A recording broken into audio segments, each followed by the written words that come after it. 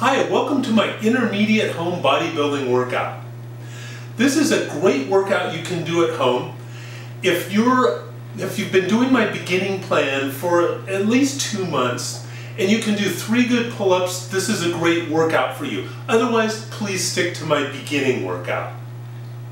My intermediate home workout has three different workouts. There's a push workout, a pull workout, and a leg workout. The fourth day is a rest day, and then you repeat the cycle. In this video, we're going to cover the push workout. And the push workout is going to work out pecs, shoulders, and triceps, as well as core and cardio, because that's an essential part of most workouts. So let's go ahead and get started. But first, let me tell you, I'm going to give you a brief description of how to do each exercise, but if you have more questions, up in the corner there's going to be a picture-in-picture -picture that you can click on to see a full video on how to perform that specific exercise. So I'm going to run through the full sequence of this uh, push workout. There's five exercises. You're going to do three sets of each ex exercise with one to two minutes between each set. Don't worry, I know that's a lot of information. I'm going to walk you through it all. We are going to start with core. For core, we're going to do my rotisserie core workout. What that is, we're going to start with Supermans. So, ah, legs up, arms up. Hold it 30 seconds, as long as you can. Okay? And then we're going to spin like a rotisserie. So next we're going to do side raise. So a side plank, sorry. If you, this is too easy, put a dumbbell or dumbbell plate on your hip like this and hold it. If you can hold it more than 30 seconds, add more weight. You don't want to spend all day doing this. So we continue spinning on our rotisserie. On our back, we do crunches or if it's too easy and we can do, do them for a lot longer than 30 seconds, hold a weight plate behind your head. And then continuing the spinning rotisserie, we do a side plank the other way. Again, putting the weight on our hip if we can hold it more than 30 seconds. Hey, in the mirror. okay? And then we continue spinning our rotisserie back to the front, and we're going to do a front plank. Again, if it's too easy, put a dumbbell plate uh, on your back like that.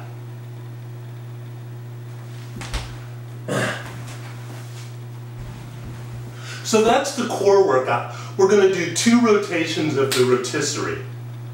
Next up is pecs. We're going to do the dumbbell press to start with. Let me get these out of the way.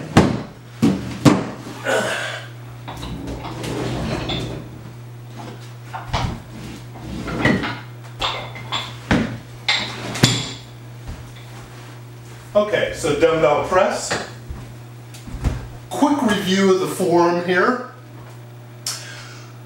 All chest exercises and shoulder exercises are done in the shoulder packing position, which means the shoulders are down with the chest thrust forward. Shoulders are down and back.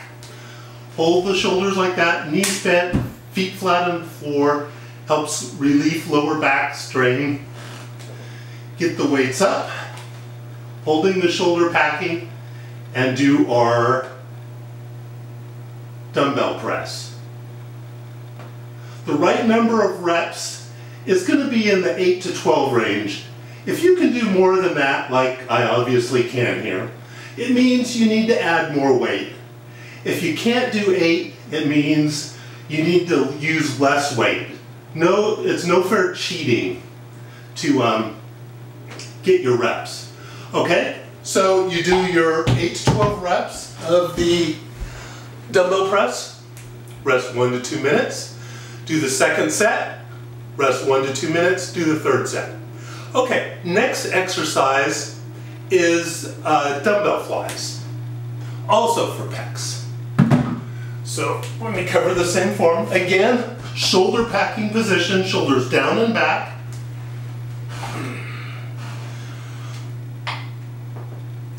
And arms are straight but not locked. Like that. And I prefer to do these on the floor. Even if you have a bench available, it's much better to do it on the floor. It keeps your range of motion proper. For the safety of your shoulder, you can't let your elbows go behind the plane of your body. So the, the plane of my body is the floor here. So the floor automatically stops me. If you let, if you're on a bench and your elbows go behind, it can make your elbow, your shoulders a lot more susceptible to injury. So again, we're doing the dumbbell flies, 8 to 12 reps. If you can do more than that, add more weight. If you can't do that, use less weight. So do your first set, rest one to two minutes. Do your second set, rest one to two minutes. Do your third set. Then we're going to do shoulders. So that was our two exercises for chest. Now we're going to do two exercises for shoulders.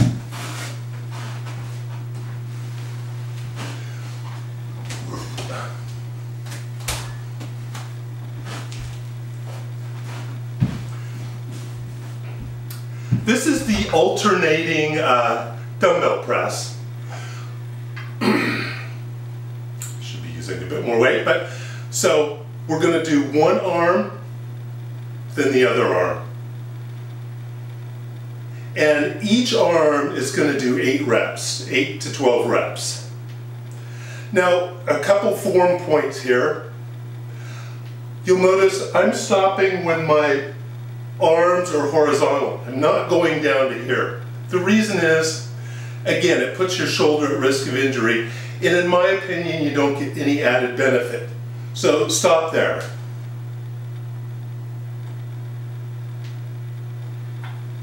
Okay, so you do 8 to 12 reps, rest 1 to 2 minutes, do your second set, rest 1 to 2 minutes, do your third set. Okay, next exercise, one of my favorites is uh, side raises. Um, again, really, really important, shoulder packing. Shoulders down and back. I'm going to show you this. So, so up, down, forward, back. So down and back like you're holding a tennis ball there. Hold that position during the whole exercise. Okay? So, up. Like this, just up to horizontal. Not all the way up. That is really hard on your shoulders. You get impingement when you go way up here. Stop right there.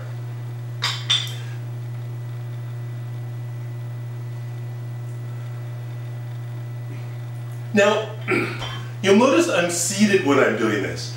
The reason is, when people stand, they do all kinds of nasty, bouncy form. When you're seated, it forces you to use good form. And this is not a big exercise. The shoulders are a relatively small muscle. So use little weights. Again, if you can't use good form, drop in weight. So on the side raises, do 8 to 12 reps, rest 1 to 2 minutes, do the second set, rest 1 to 2 minutes, do the third set. Okay, so we've done two sets for pecs, two sets for shoulders. Now we're going to do the final set, which is for triceps. And that is the skull crushers, which I, that is my favorite exercise for triceps. Put it over on there. So you'll notice I am using this easy curl bar. Um, for me personally, if I use a straight bar, it really hurts my wrists. If it doesn't bother you, then you can use a straight bar. Um, if you don't have any kind of straight bar, you can kind of use dumbbells, although it's really kind of tough because your elbows tend to wander when you're using dumbbells. So let me show you the proper form of the uh, skull crushers here. Feet flat on the floor, knees bent. Again, relieves lower back strain. Um, we're going to go down to our forehead like this. Really important, keep your elbows pointed forward like I am here. The net, if you use too much weight, you'll find your elbows go out like this. You don't want that. Use a lighter weight and keep your elbows pointed forward when you're doing the exercise. Let's see if I can show you a little better here. so, this is the proper form. Do not do this. Elbows forward. So with the skull crushers, you do 8 to 12 reps. You got it by now. Rest 1 to 2 minutes, do the second set. set. Rest 1 to 2 minutes, do the third set. So, at this point, you've done your five exercises.